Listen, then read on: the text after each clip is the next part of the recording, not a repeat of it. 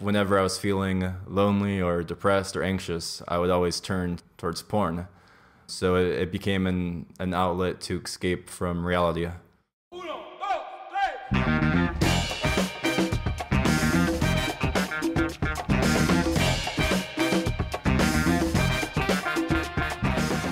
Hello and welcome, fellow human. My name is Zachary Stockill, and you are listening to Humans in Love, a podcast that looks at culture, relationships, and personal development from unconventional perspectives. Join me as I dig into the question of how people like you and I might get more out of life and love. Thanks for being here. Coming to you from a hotel room in Vientiane, Laos. Welcome to Humans in Love. Yes, I am on the road this week. I had to make an emergency visa run to Vientiane. Had to get a new visa for Thailand. Long, boring story. I won't. Uh, I won't bore you with it. But this is my first uh, international episode, I guess, of uh, of this podcast. I'm excited to share this one today. I think this is easily one of the most raw and revealing conversations that I've yet had for this podcast. Gold Jacket Luke is a very popular YouTuber. He makes videos about topics related to psychology and personal development. And more recently, and perhaps what he's best known for, is making videos about the dangers of pornography, the benefits of not viewing pornography, not masturbating, and learning to better circulate and use your sexual energy. And frankly, when he when he first came on my radar and I started watching his videos, I was pretty impressed by his candor, by his openness, by the fact that he was willing to reveal some pretty raw and some might say embarrassing aspects of his life, such as, you know, his as he describes it, his addiction to pornography. So anyone who has the balls to do that is um, is a pretty cool guy in my books. And Luke recently moved to Chiang Mai, where I live, so I was excited to invite him to my kitchen and have a conversation about all of these related topics. In today's discussion, we get into everything I just mentioned, you know, pornography and masturbation and the dangers of pornography and how we can all use our sexual energy a bit more wisely. If you're enjoying this podcast, please be sure to leave a rating and review on Apple Podcasts or your podcast app of choice. They really mean a lot to me and they do a lot to help spread the word about this show. So without any further ado, I present to you Mr. Gold Jacket Luke.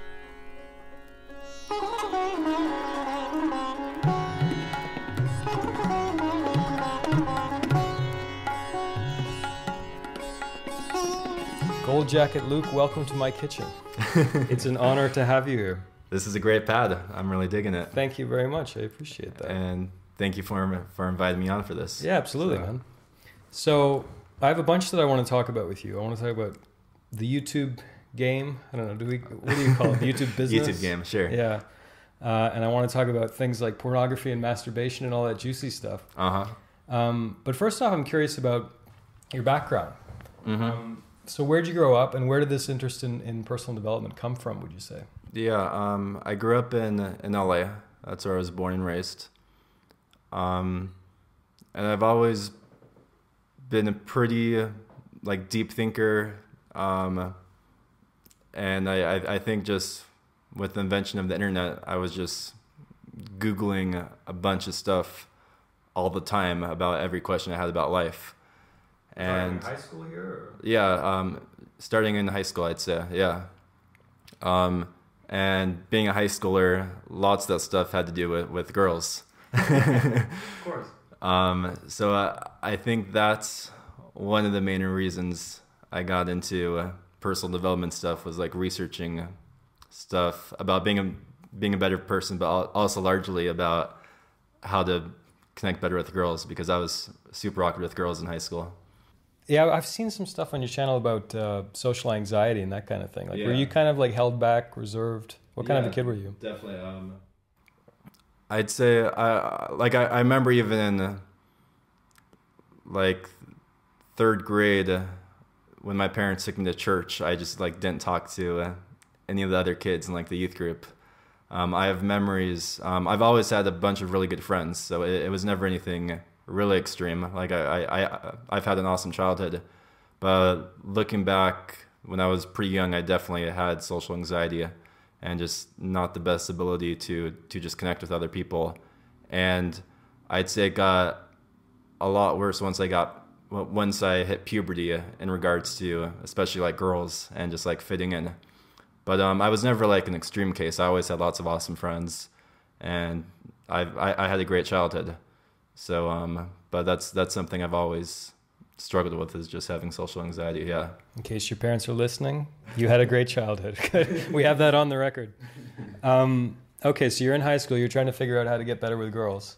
Uh-huh. Um, and what's the deal? You kind of stumble into other topics, other subjects. Yeah. Um, I. Yeah, a lot of it was the girl stuff and some like pickup artist stuff. I went through a phase with that, and um, I, I also got into some spirituality stuff. Just um, part of the like the law of attraction and things like that kind of had a sway to me um, and just like different um, um, different philosophies and just different things that really i guess just stimulated my my brain because like school didn't really stimulate my mind so just reading like different philosophies and theories and personal development stuff online just really kind of woke me up in a way and when did you start when and why did you start youtubing yeah, um, I started YouTube in 2012 with two friends, and we started with making uh, prank videos and um, kind of like comedy picking up girls videos, um, social experiments. And Have you seen any of the simple pickup guys? Yeah. Okay, so similar to that. The, the, the, they were one of the, the big inspirations for us to start doing that. Yeah, they're funny. Yeah, they're awesome. Yeah, so we saw them doing that, and then I was doing lots of that stuff just like during the day or at night, and I started thinking it'd be awesome to to make a YouTube channel too because I really like simple pickup. And what kind of stuff were you doing? Um, so one of them was like proposing to random girls, just hey, will you marry me? Um, one of them was I was in like a Santa Claus outfit and picking up girls, like we did that during Christmas, like picking up girls as Santa. did you have the beard? I, I, I we, we rented like a two hundred dollar suit, oh, like wow. like it was two hundred dollars to rent. We we went all out, yeah. um, one of our big ones was picking up girls with a fake boner. Okay. we got a um, a dildo put in our pants and went up to a bunch of girls and tried to get numbers with yeah. Uh, we actually got a decent amount of numbers. it was now, surprising. Would the women acknowledge the, the elephant in your pants? Uh, quite often, yeah. It, it was a, a very big dildo.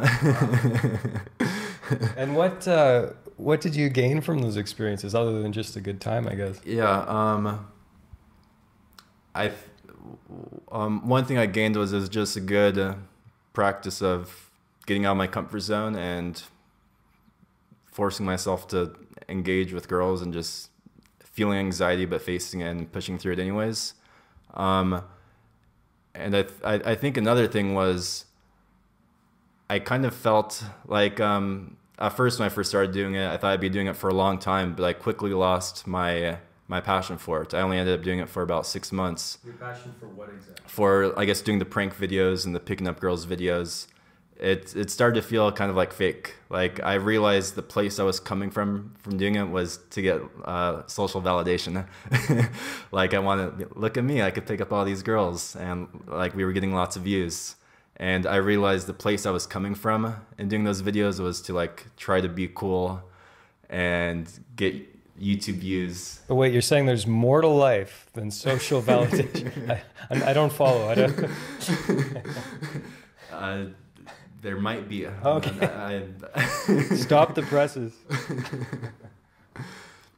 so, um, after about six months, I started to have some business disagreements with one of my partners, and at the time, I like I've always been really passionate about yeah the personal development and spirituality and dating advice so at first I thought I'd make another channel where I'd talk talk about my ideas about life and do, do like the pranks and picking up girls videos at the same time. But um, after I started making some of my own videos, just talking, and me losing my passion for the prank videos, I was like, you know, I'm just gonna get get my uh, part of the YouTube channel bought out and focus only on the the Gold Jack Luke um, talking head type of videos.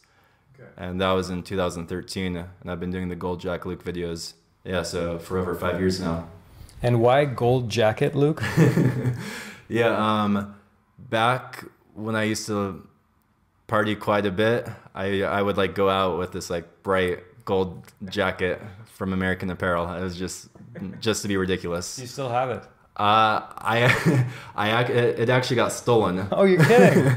Yeah, So now but, you're um, no jacket. Luke. But but um, I, I I bought another one. Okay. Yeah, I, I actually bought bought two new ones.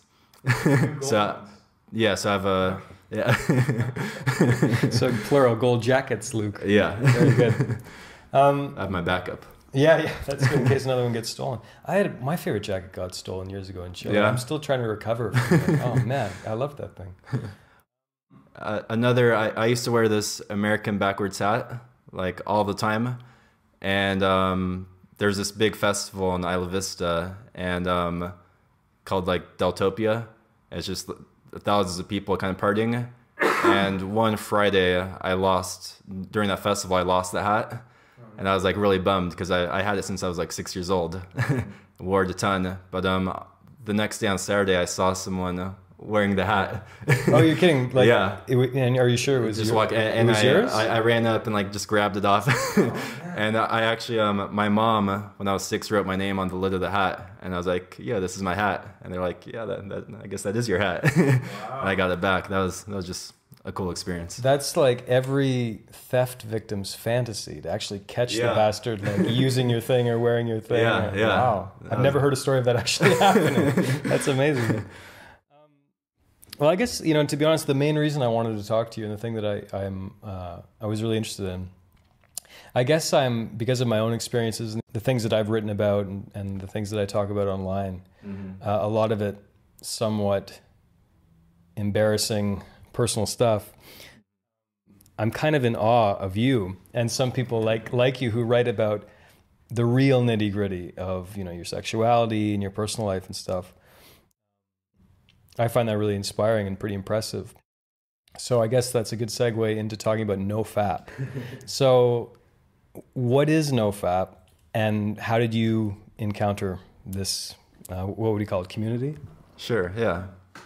So NoFap is the um, FAP is an internet um, um, um, slang for masturbation. Yeah, and it's it's supposed to mimic what the sound it makes or something. Fap, Yeah. fap, fap, or something. Apparently, it, Yeah. "fap fap fap" was from some like Japanese comic, and that yeah that, that was kind of the origin story. And then it, it just caught on, and people started using it. And then NoFap came along, um, and it just spread like wildfire. So NoFap is the practice of not masturbating um, for the for the benefits of harnessing one's sexual energy.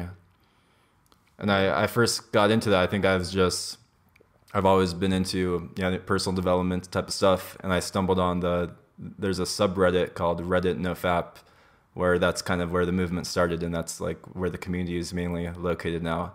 And I just started reading people's reports, and I was like, hey, um, this kind of makes sense. I look at porn and jack off all the time. I've never really thought about this. Maybe I should try taking a break and see how I feel. And I did, and I felt a lot better. And so, how old are you? I'm 26. Okay, so you're a little a little younger than me. I was just having this discussion with someone. I'm uh, I'm about to be 31. Okay. I was just having this discussion with someone that I think like I was born 87 and I think I was a generation like like the last generation before ubiquitous HD internet porn. really because I think because eh, I remember I remember dial up and stuff and uh-huh. like we didn't have, you know, I grew up in rural Ontario. Okay. And I remember we didn't have great internet. And what's more, I didn't have any privacy really. you know, mm-hmm. I didn't have my own computer or anything, or uh-huh. smartphone or any of that stuff Yeah. until you know college. You're, Um, you're fortunate. I guess so, yeah. And and I'm really curious about the experience of young people, but particularly young guys, growing up with. I mean, I can't imagine. I mean, the first time I saw a naked woman, I remember like the you know cl- very clearly. My friend, shout out to. I don't know if he's listening. I remember his dad. Uh, I probably shouldn't say that. I'm going to edit this out a friend of mine, uh, whose name I won't reveal, his dad had a pretty extensive collection of like 70s Playboys, right? So this is the the golden era of pubic hair. So you couldn't even really see, you know see the uh, the whole picture, so to speak. But that that was my my brush with female sexuality at a young age. In some ways, you know, we would uh, we would seek out my friend's dad's uh, old Playboys. Nowadays, a 12 year old, a 13 year old can can, can go online and find literally anything he wants. Yeah, Unlimited, high definition. it's insane. I mean, I can't imagine like what what does that do to a young guy's sexuality? What what does that do to his view of women?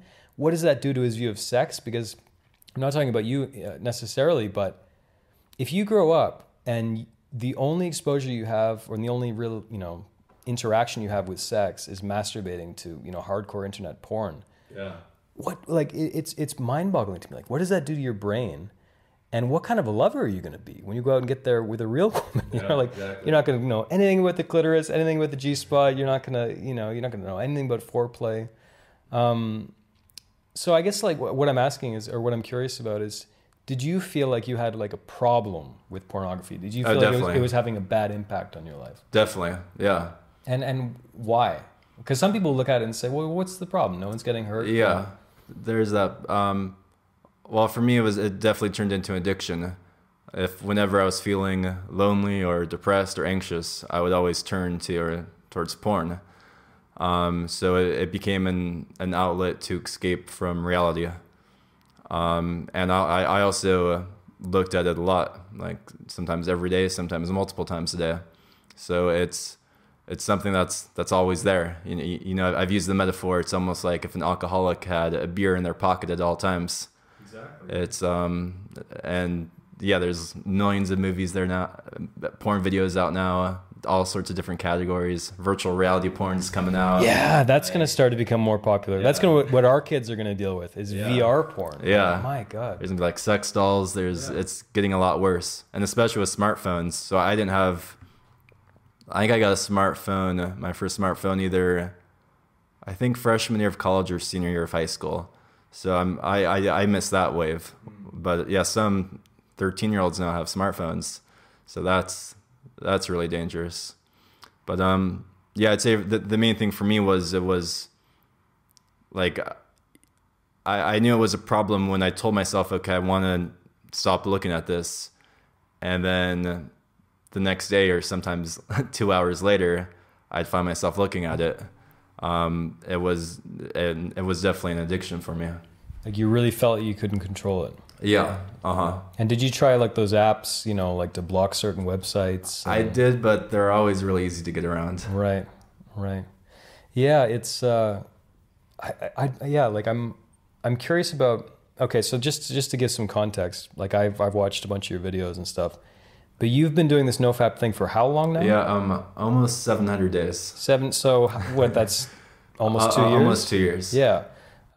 And what does nofap entail for you, if you don't mind sharing? Yeah, well, so no FAP entails um, for me no masturbation, um, and uh, I, I actually I have been celibate for that 700 days too. Um, back before that 700 days, I yeah I was into some like pickup stuff and got a decent amount of like one night stands and superficial things, and that never really made me happy. So about two, uh, two and a half, three years ago, I decided I, I want like something really real and intimate with a girl, um, and it's just taken some time. So uh, I I've been celibate, but no fap doesn't.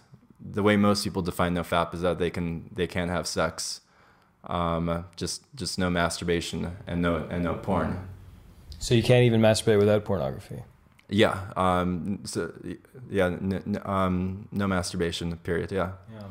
And this is something that I can I can relate to because, as you know, I have an interest in uh, tantra, Yeah. in tantric sexuality. Uh-huh. Um, and so when I found out that people like you were doing this no fap thing, but correct me if I'm wrong, but they had no exercises to sort of transmute that energy and bring it up and stuff. I like I was like, they're gonna explode, like they're gonna because in in in tantric sexuality and some of the things I'm interested in, Uh-huh. you actively try to channel that energy through your whole body, right? Gotcha.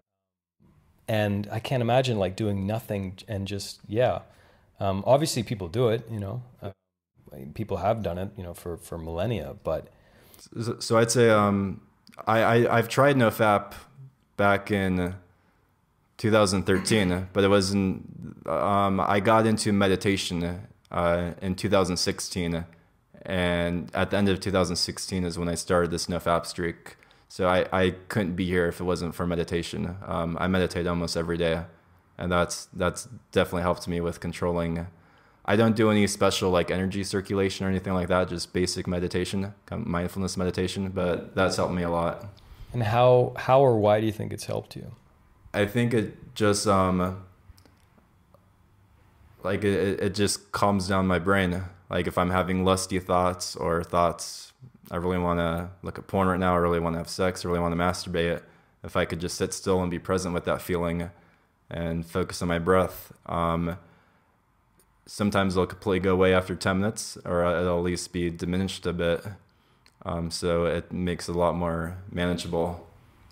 And do you use an app or something, or what do you I- do? I, I just sit in a chair and meditate. Okay, old school. Old yeah, school, that's yeah. me too. Yeah, a lot of people are using you know Headspace and all that Yeah, stuff these days. yeah. but yeah, that doesn't that doesn't appeal to me as much. Well, first off, I mean, just kudos, man. Like, like no, seriously, because because, and I think like for guys around our age, and for everyone in general, porn is so normalized. It's like Yeah. you know, there's there's just endless jokes about it in popular culture about you know jacking off to porn and and uh, it's it's become a thing that that I think we just assume on some level. It's not even normal. It's like encouraged by the culture. Yeah. Like this is how you relieve stress. You know, I, I mean, I've talked to guys who can't sleep without doing it. That kind of Yeah. thing. And my own experience, I mean, of course, I've looked at pornography, but it's just never, um, you know, off and on. But I, I, I've never had a problem with it. Um, I don't think it's necessarily wrong. I'm not certainly not going to get Mhm. you know sanctimonious and and Yeah. uh, Mm-hmm. think that it's morally wrong or something. I mean, some of it I think is lots of it. yeah, lots of it's pretty dark and twisted Yeah. and messed up. And, in and the general- industry could be pretty messed up too. Yes, yeah. There's actually I'll link to it in the show notes for people listening. But I watched an incredible video. I wish I could remember the name of the guy. I'll find it by one of the most popular porn stars, uh, a, a guy um, from the '90s. He was like you know in tons and tons and tons of films, and it's just him talking for ten minutes about the toll that it's taken on his psyche and on his life, and and it's really interesting because usually we hear about the female perspective, right? We kind of assume on some level, well, it's worse for the women. It's more, you know, psychically, psychologically Yeah. damaging for them. But this guy's talking about the toll that it's taken on his life. It's fascinating. I'll really send it to you. Yeah, Yeah, it's really great. interesting. Yeah, and and so yeah, I guess I I'm kind of ambivalent in some ways about pornography, but from from my own life and from people I've talked to and stuff, I think more often than not, it's incredibly draining, uh, literally Mhm. as well as you know. Um, Now, are, are you talking about masturbation too? yeah, and, Uh-huh. but also I think that that it just um, I don't know. I, I look at sexuality and sexual energy as such a resource, yeah, uh, and it's a renewable resource, and you can use it to fuel everything you know in your life. You can use it to fuel your relationship. You can use it to fuel your work. yeah, You can use it to fuel your workout. You can Yeah. use it to fuel your creative energy, some project you're working in yeah, uh, working on. Um, I see it as such an incredible resource, and every time I do slip up and and masturbate um, and watch porn, um, which isn't very often, but it happens once in a while, uh-huh. I immediately feel drained, yeah, and and the next day is still I'm I'm operating on a lower frequency. I really feel that Yeah. um, the next day, and then I think, well, why the hell did I do that? That was you know. Very silly, um, Yeah. and just yeah. What what's the point? yeah. And and I'm someone who you know I would say I'm abnormally um, infrequent uh, porn viewer. You know, okay. but some people I can't imagine guys who are doing this every day or several times a day. yeah, It must just it must just make you feel like very drained. yeah, Yeah, I mean I guess you can speak to that. or, yeah. I, I Well, what's what's the before and after? I guess like like how how's your energy level now? How are you feeling now compared to two yeah. years ago? Um, I'd say it's kind of like benefits ac- across the board. Um, but like some people report feeling like superpowers, like they suddenly could talk to every girl and wake up at 5 a.m. and going to. Um, I didn't experience much of that, but I'd say just across the board, I feel like 20 to 30 percent better. Uh, more mental clarity, more confidence, less anxiety, less depression. Like it's not a magical cure all, um, but I definitely just across the, across the board feel a lot better. Um, I think a big one is how I see women. Um, I could definitely see women more for who they really are rather than just sexualizing them or objectifying them right away. That's something um, I didn't even really notice I, I had until I stopped looking at porn for a while, and then the porn and then women, I started really change how I saw women, and it's like if you look at porn all the time since you were 15, you don't even really notice the subconscious effects that that has. Because you felt like you were seeing women primarily as sexual objects before, Yeah. on some level. Yeah, definitely. Yeah. Do you still have those? Like we're now two year you're you're two years deep into this. Do you still have cravings and really tough moments and stuff? And, and how do you yeah, deal with d- those? yeah, definitely. And um, I have been perfect with not masturbating, but a handful of times I've actually looked at porn. Naughty, naughty. so I haven't been like the lengths of time have been. It's only been like a couple times this year, but um, it's I definitely still get urges. Um, they're a lot less than how they used to be three, four years ago. It's like those neural pathways in my brain have diminished quite a bit, and then I feel like my uh, ability to handle an urge has uh, has improved as well. So when an urge comes, I I more uh, know how to that this is okay and I can control this and to be present with it. But um, so it, it it's um way easier than how it used to be. But here and there, I definitely still get urges. Yeah. But do you think meditation helps with that as well? Yeah, definitely. Yeah. Yeah. So you, you mentioned also that you've you've been celibate for a couple of years Yeah. um, after having some sort of mediocre experiences with one night stands and stuff. Yeah.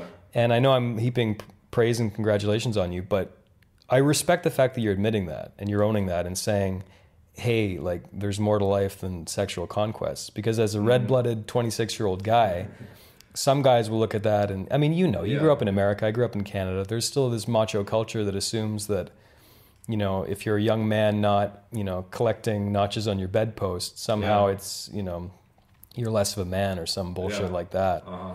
Um, so congratulations for yeah, like owning that. I think that's really cool. Um, yeah, no, I mean it. And and like, are you are you open to relationships moving forward? But you're just really holding out for something special, some Um, kind of special connection. Yeah, I'm I'm I'm very open. yeah. Um, Ladies? I, I feel yeah. um, and um, a big thing for me is yeah. Um, and it's cool when we met. You you you brought this up. Is two years ago I read the book Cupid's Poisoned Arrow, and um, By what's her name? By Marnia Robinson. Marnie Robinson. Yeah. Yeah, and um, that book really captivated me. And I'd like to find a girl who'd be curious about experimenting with Karezza. Yeah. Why don't you why don't you talk tantra-like- about that book a bit? Yeah, so uh, um, Marnia Robinson um, wrote a book called Cupid's Poisoned Arrow. And um, the basic idea of the book is that um, there's another kind of style of making love called Karezza, and it's pretty similar to Tantra. And um, Karezza is almost like no fap sex. it's um, the the goal is that um, both partners don't orgasm during the sex, but it's this very like slow and gentle sex. And um, I haven't had it yet, so I'm just speaking from what I've read from the book. But basically, the um, the purpose of it is that um, is two things. Is one, she talks about the the draining effects of orgasm. Um, so kind of similar to NoFap and how um, often when if couples are having normal fertilization orgasm driven sex, that it could kind of demagnetize the couple because it's almost like they're like draining each other sexually. Um, so which is a really interesting. Uh, I I thought that sounded really interesting. Um, I'm, I'm gonna have to explore it with myself and see if that's true. But um, um, so, so, her kind of uh, hypothesis is that couples that if they can summon the strength to not, to not orgasm, uh, which some people find to be like an impossible feat, that their relationships are much more like harmonious and and loving, which uh, to me makes kind of sense. And I, I, I guess the other point is that in Karezza sex, it just really boosts oxytocin levels, um, which is like the the kind of love cuddle hormone, without blasting off the dopamine levels. And this kind of state of mind gets people just kind of like feeling like they're spiritually in the flow. And some people feel they have like experiences of like, I, I had a friend who did Karezza and he said, there's no need for like psychedelic drugs because he was feeling oneness, um, having the style sex with his with his uh, uh, now wife. Um, so it's just um, and I, I had never even like heard of Karezza ever before before reading that book, and yet to me I was like, wow, this sounds like really amazing. Why isn't uh, people talking about this more? And it sounds like you're, you you have a pretty big interest in like tantra and stuff, and like the more I look into tantra and Karezza, it seems like it's it's this thing that's almost been like hidden from uh, the general public that could really benefit people's lives. Absolutely, yeah. I mean, you you you probably uh, have read the book more recently than I have, but what I recall from the book Cupid's Poison Arrow as well is both her and her husband are actual researchers too, right? Like there's a bunch Yeah. of science science to back this up in terms of the beneficial effects of on your hormone levels and you know the actual beneficial effects on the relationship. There's um, lots of science in the book, yeah. yeah, yeah. I mean, and I remember when I was reading the book, I was thinking, well, this is just like a westernized version of tantra. Right? Yeah. In some, you know, there's a lot of you know Very similarities there. Yeah. Um, and uh, yeah, as one who's had similar types of sexual experiences, a your your friend is right on the money. um, Okay. Yeah, I mean, for me, it's like when I found uh, meditation and tantric sexual principles, my urge for basically any kind of psychedelic substances or even alcohol kind of just went down. Uh-huh. Um, I'd say more so, yeah, things like marijuana and, and you know, it's like I'm really into natural highs um, Uh-huh. because they're more sustainable and they're just more more fun. I think. Uh-huh. Yeah. Um, yeah, it's and and you you know you mentioned earlier about the mediocre one night stands and stuff. I mean, I can Yeah. re- I can relate to that as well. And one thing I found too is that be careful because once you have some of these beautiful, you know, um, non ejaculatory orgasm type sex, and you have these kind of beautiful, you know, tantric connections or or you know, karezza or whatever you want to call it, you know, one night stands start to seem even less appealing because it's like once I've, you know, it's like once I've had this amazing, you know, four star dinner prepared by this French chef, why would I want to go to McDonald's? Do you know what I mean? It's like it's that kind of thing. Yeah. Um, yeah, it's a lot of sense. it's pretty far out, really. Yeah, and and you know, like when you say, at least I found when you talk about these things with with some people, particularly Westerners, they give you kind of blank stares, or they assume you're just some hippie, you know, living in northern, northern Thailand who's just you know, which is kind of true. I'm kind of guilty of that. Um, but like a lot of these these basic principles and these basic exercises and these ideas, like they're available to everyone. Yeah. And particularly in the West, like there's no denying we have a hell of a problem on our hands Yeah. maintaining monogamous relationships. Big problem. There's all kinds of, you know, discussion and debate going on about, you know, open relationships and swinging and polyamory and, and you know, monogamish and all these, you know, these new ideas. Um, and for me, I think, you know, I see personally in my own life um, as one with a very high sex drive and I love women and stuff. I know for me, you know, if I'm going to make uh, another real stab at monogamy again, you know, these principles are what's this is the way, as far as I'm concerned, you know, Yeah. to, to stay uh, in a monogamous relationship and be happy. Yeah. And, you know, I think most guys have had the experience of you're in bed with a woman, you ejaculate, and then you either want to roll over and go to sleep, or you want to leave, or you kind of want her to leave. You know, you kind of just Yeah. want to get some rest. Yeah. Um, but when you have this type of what- whether you call it karezza or tantric sex or whatever, Mhm. your desire for your partner doesn't go down; it goes up even after sex, and you're kind of filled with this vitality and this just kind of very, I don't know, like this grounded presence and this like very grounded, excited energy that colors the rest of your life and colors the relationship. Obviously, yeah, Uh-huh, it's yeah. it's pretty far out. So, so you've had some a decent amount of experience with Karezza and Yeah, Tantra. And yeah, in a couple of relationships I have. Yeah, Very cool. and it's um, yeah, it is as good and better than advertised. I would Uh-huh, say. yeah.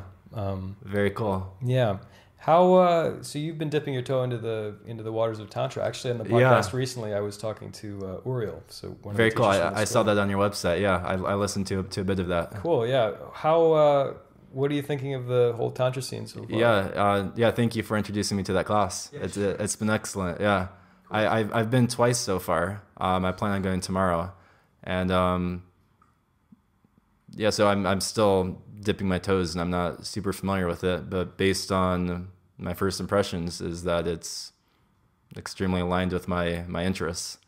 Um, I- I imagine Uriel doesn't masturbate. no, he he. Uh, I think he he revealed once. It's been like years and years. And years. yeah, you should like any any tantric person listening. This is like pff, two years, dude. Yeah. Twenty years. You know, like kind of funny. Um, but yeah, and just the the ideas of like circulating one's energy, like I'm not familiar with that, and I think that could really help me. I'm also a very like mental person and very, uh, I have lots of anxiety lots of times and just overthinking and stuff like meditation and yoga and the tantric philosophy just to get me more into my body, um, really appeals to me. yeah, that's great. I'm glad to hear. Yeah, th- thanks for introducing me to that class. Oh I, yeah, I, no I really worries, appreciate that man. recommendation. Yeah, yeah. I wrote this this book several years ago about kind of an embarrassing chapter of my life, Uh-huh. um, and at first I put a pen name on the book. Okay, and I wasn't planning on doing anything with it. About a year later, I was persuaded to put my, my real name on it, and you know, start making YouTube videos and stuff. Mm-hmm. But it was not all that easy for me, you know, to to own up to some of this stuff. Uh-huh. What I mean, what was it a difficult decision for you to start? I mean, it's one thing. To, I, I see it's one thing to make videos about picking up girls and having fun. Yeah. It's another one to talk about. Hey, I have a problem with pornography and I jack off all the time. you know what I mean? Like, Yeah. was that a, was that a Yeah. difficult thing for you to do? How has your experience of that of that been? Um, it, it- it definitely required some vulnerability and courage, but uh, it wasn't like uh, it wasn't that difficult for me. Uh, for me, um, I, I think just like if I was talking, if this was four years ago and I was talking face to face with people, I I'd be very when I first started this, I'd be very uncomfortable um, sharing it with people in person. But when I'm like alone with my tripod, I became a lot more comfortable. It was really um, so uh, like you, you found that more comfortable than having say like a conversation Than- with with one person, like a friend um, or something. b- b- back then, four years ago. Wow. And um, like I, I, I could just almost uh, do like a journal. It was almost like a journal video, like Going out to the just- entire world. yeah, and then uh, I think because I upload on YouTube and I don't see how people react, like their facial expressions, but just see the comments. That uh, in a way, I, it started off almost like disassociating myself, but my true self. Like I, I didn't actually think too much about how people would. I, I just felt like a calling to do it. Um, so I like yeah. So for some reason, just doing it online um, made it a, a lot easier for me. And I think also just I had digested so much personal development and spirituality and just all this stuff that um, my personality five, six, seven years ago was I, I was always introvert, and I, I I quite often felt like dominated in conversations, and I wouldn't really bring up and share my own thoughts and ideas with people very much. But at the same time, I felt, hey, I, I have some valuable thoughts. So part of it was was also I felt like I was kind of uh, repressing lots of the stuff in my mind for years and years with just my, my friends and people in my life, and I just had this like shaken bottle that just that just had no release. So part of the appeal was YouTube was just getting some stuff out of my mind out into and and expressing it, and I found like it was very therapeutic just to uh, share my thoughts on YouTube. So to me, it actually was it, it was kind of a natural process. It wasn't um, it wasn't it didn't require that much courage or vulnerability. It, it required some, but it was it was kind of easy for me. That's interesting because I would feel, I think in a lot of ways, I would feel much more comfortable revealing my darkest secrets to you, even though I don't Uh-huh. know you that well, than a video camera going out to the entire world. And I think most people are probably kind of like me. So I think that's that really interesting yeah. that you, uh, you kind of, you know, have the opposite perspective. That's interesting. Yeah, huh. What, what what what made you decide to uh, change from the pen name to your real name? How, how, how did that happen? Well, I, to be honest, I think it was similar. I think I felt like this is important, Uh, and I think that it would have a really beneficial effect for a lot of people if they could actually see someone's face going through this particular Uh-huh. issue. yeah. They would know that it wasn't some guy online just trying to make a buck. That I'm, you know, I'm actually a real human being. Um, I actually care, Yeah. and I'm not going to hide behind a pen name. Yeah. Um, and I, yeah, I think I wanted to have a closer connection with the people reading my book and, Mhm. and reading my blog and, and going through, you know, my videos and stuff. I think it was, Very cool.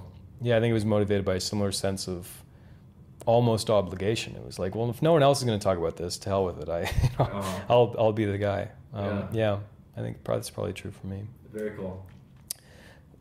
What, uh, what kind of comments, like what kind of relationship do you have with your audience or like what is that experience like been actually like, interacting with people who are watching these Oh yeah, um, I, I I have an awesome relationship with my audience. Yeah, I um, get tons of supportive comments, encouraging me, and tons of people. Hey, Luke, I'm on day 52. well i was i was reading some of them and i was surprised because youtube is usually such a cesspool yeah, YouTube, YouTube commenters are not known for their It's grace and civility the worst your- form of human interaction. oh often. it's terrible Yeah, but your commenters seem relatively cool like it seems like a Yeah. lot of positivity yeah. Um, here and there, I get haters, and uh, yeah, and but um, overall, it's been very positive. Yeah. do you have any kind of youtube strategy or, or like you know what are your what's your long-term vision that kind of thing Yeah. Um, it's really just to keep making videos, and I thought maybe sometime in the future do some some live public speaking, maybe some seminars or something. But um, it's really just to keep going on YouTube. Um, nothing too complex, and see where it leads me. do you have any like overriding philosophy when you make videos like any kind of Uh, I try to be honest and real, um, as honest and real as I can, and I try to focus on, well, making this video uh, help the person who's watching it. So I I I like to think, how is this video going to uh, impact the world? Is this going to make the world a better place, or is this just my ego uh, looking for validation? And sometimes there's an overlap but um, I, I, I, I do put lots of thought into is this really actually valuable to uh, to my audience? I'm glad you do, and I, I think that more people like you and I, who are quote unquote content creators, which sounds so hollow and awful. Yeah. You know, there's this emphasis on volume, right? Like just put out more stuff, keep putting out more. But it's like, I don't know. I'm a firm believer in quality over quantity. So Nice. yeah, I'm, I'm yeah, I'm glad that. to hear Yeah. that. Yeah. And we need to get Luke to 100,000 subscribers because then you get a plaque, right? And life is all about social validation and material possessions. Once I get that plaque, I'll be set. Yeah. There you go. Yeah, yeah, yeah. no, no more worries. There you go. Yeah. Um, well, thank you for uh, thank you for joining me today, Luke. This was really nice. Yeah. Um, thank you for inviting me. Yeah, it, it's been a, a pleasure talking. So thank you very much.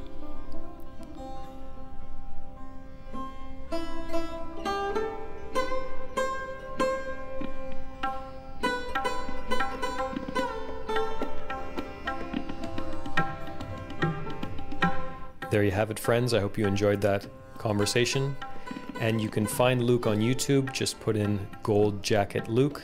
You can also find links to the books we mentioned and the videos we mentioned in today's podcast at humansinlove.com.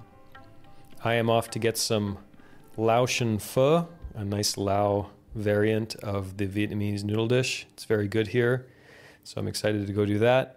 But before I do that, I'll remind you that ratings and reviews are absolutely crucial for any podcast success. So if you dig the show, please be sure to leave a rating and review on Apple Podcasts or your podcast app of choice. Signing off from Vientiane, Laos, I'll remind you that life is short, far too short to be spending all your time having most of your sex with yourself. Thanks for listening, folks. I'll talk to you again next Tuesday.